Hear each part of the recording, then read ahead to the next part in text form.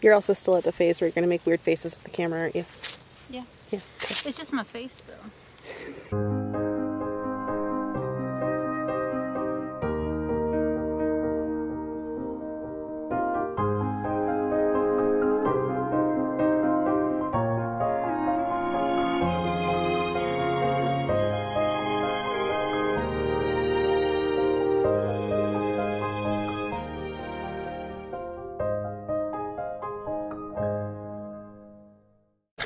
Hi everyone, it's Brittany from Green Bee Flowers. We're out here tonight doing a harvest. I thought I would just take you along for that. It's going to be super relaxed video. We're going to be harvesting at both farms uh, during golden hour because golden hour is the best time to harvest because the flowers look so vibrant. We finally got rain here, so everything is also looking much, much happier. Snapdragons are so perky. So we're gonna take you along because there's lots of flowers to harvest today.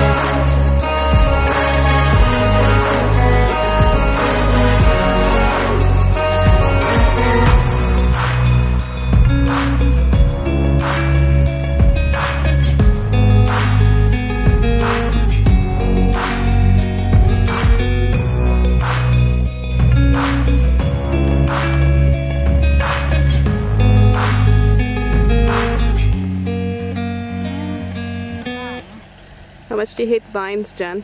Vines are the worst. Yeah, we need to weed.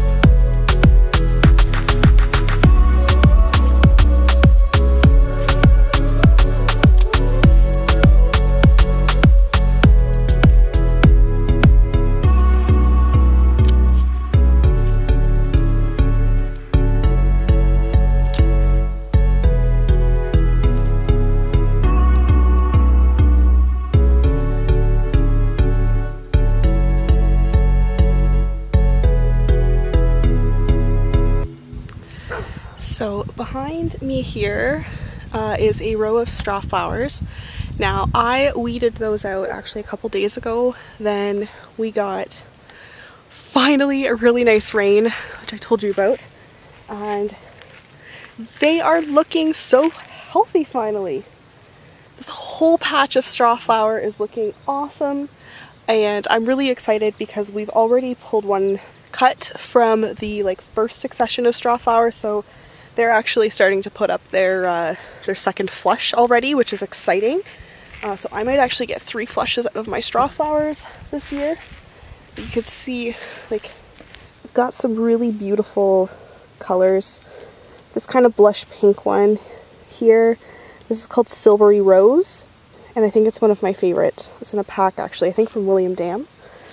But this whole patch of straw flowers is looking so much better. So much better.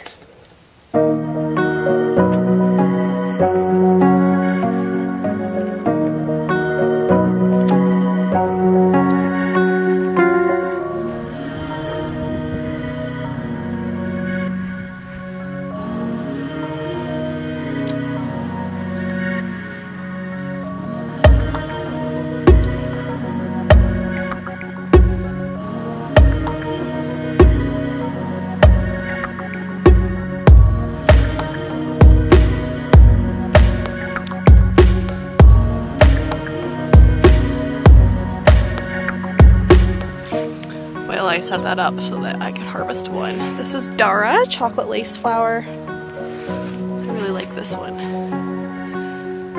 And it looks really, really good in bouquets.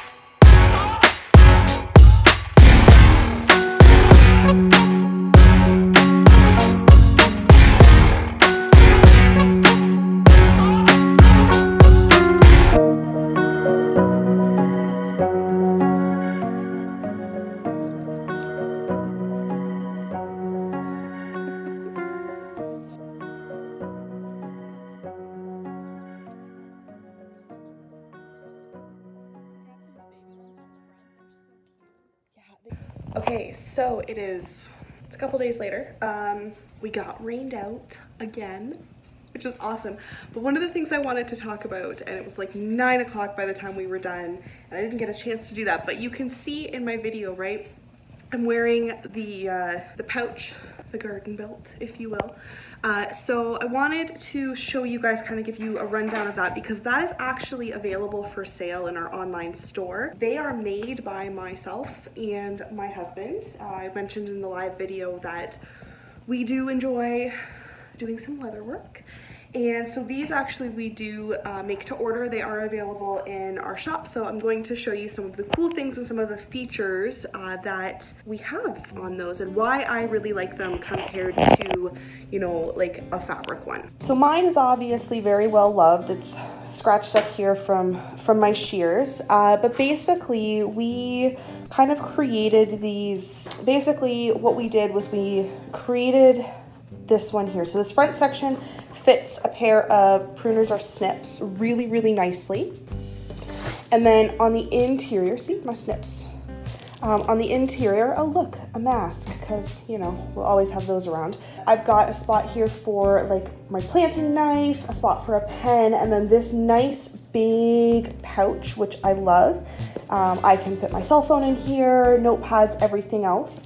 And then they are done with really, really beautiful bronze hardware and copper rivets, so they're extremely stable and actually hand stitched all the way down. Um, so these are through Z&B Co. Right, that was our honey and kind of like leather business. We actually finished these all with beeswax, so they look really great long term. And we will cut the straps, so I've got a bunch of different strap size options so that you can get a strap to fit, get that out of there. You can get a strap actually to fit your waist, which is really awesome. So I love these. They work really well for the garden. And just a plug here, if you are looking for a gift um, and you want to support us with something that isn't just like flowers and also you want to treat yourself, uh, we do these. And this is a really nice industrial grade leather. It's about four to five ounce leather. Uh, we also have a spot to hang keys and then I mean, McKenna uses this for her um, her headphone bag, but originally these are for elastic bands. So when you're out harvesting in the field, if you are selling for wholesale purposes, then you can actually just clip your elastic bands in, easy, good to go. So that was my plug. Uh, thanks for watching. I hope that you guys enjoyed the video. If you did, of course, give it um, a like. If you want to continue to follow our flower journey, please subscribe to the channel. If you would like to see content that is, you know, how-to arrangements and really in-depth uh, how to grow things, please consider becoming a member to the channel. That would help us out a lot. As always, thank you for watching. I hope you have a great day. Bye.